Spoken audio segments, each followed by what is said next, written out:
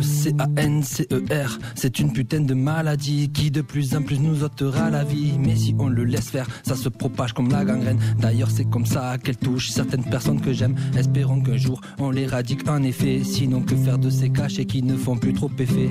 Alors on fait de la chimio, histoire de nous rendre plus idiots. On t'injecte ce produit qui en plus nous affaiblit. Oh, y'en a marre, ça fait tôt ou tard, c'est pour ça qu'il faut se faire voir. Cette maladie n'a pas de répit, pas de pitié pour ta survie. Et si vous voulez mon avis, la guérison c'est un combat, faut se battre avec cette envie pour éviter tous ces coups bas. Il y a forcément une issue, je garde espoir. Quant à Dieu, s'il m'entend, désormais je veux bien y croire. Je t'en supplie, viens en aide à tous ceux qui ont tant subi, qui dépérissent face à un cancer qui nous met en péril le cancer. Cette maladie, on finira par la tuer. C'est l'enfer. Non, si on décide d'aller se faire dépister. Mais que faire? Quand elle détient, détient, faudrait pas le laisser tomber. C'est clair, oui mon père, t'inquiète pas, on est là et on lâchera pas l'affaire. Je m'imaginais avec un peu de magie et devenir un grand héros qui rentre dans tes vaisseaux, chercher les cellules sales pour combattre le mal, détruire cette tumeur pour ne pas qu'elle gagne que tu meurs. C'est sûr que ça reste que de la science-fiction.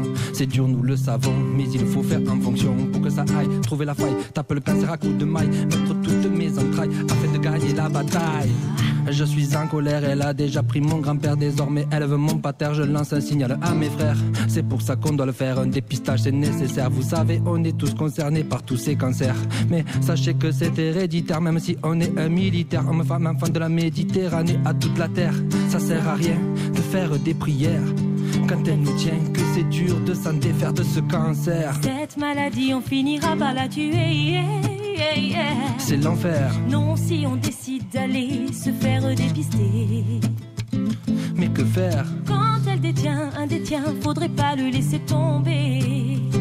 Ça c'est clair, oui mon père, t'inquiète pas, on est là et on lâchera pas l'affaire. Ouais. Je tire ma révérence aux chercheurs qui avancent, qui mettent leurs compétences à démolir le cancer et ses conséquences. Il faut leur faire confiance. Un jour, je crois qu'en France, on ira dans le bon sens. Et espérons que jour le miracle prenne effet. On serait tellement fou de joie qu'on aurait l'air stupéfait.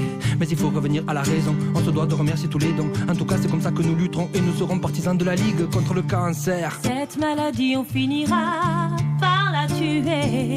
C'est l'enfer. Non, si on décide d'aller se faire dépister. yeah, yeah, yeah. Mais que faire? Quand elle détient, un détient, faudrait pas le laisser tomber.